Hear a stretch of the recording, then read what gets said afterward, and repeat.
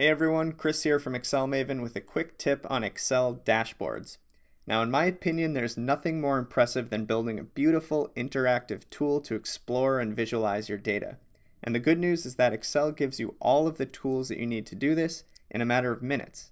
One of the most common ways to build a dynamic dashboard in Excel is to link your charts to formula-driven source data. In other words, rather than feeding a static range of hard-coded values into your chart, you can use conditional stats functions like sumifs or countifs and data validation tools like drop-down lists to pull in data based on user selections and inputs.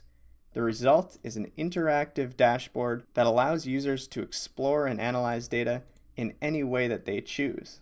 To learn how to build tools like this on your own, along with tons of other DataViz tips and tricks, click the link below for a discounted copy of my full Udemy course on Excel charts and graphs. You'll get downloadable project files, hands-on case studies, lifetime access, and a 30-day money-back guarantee.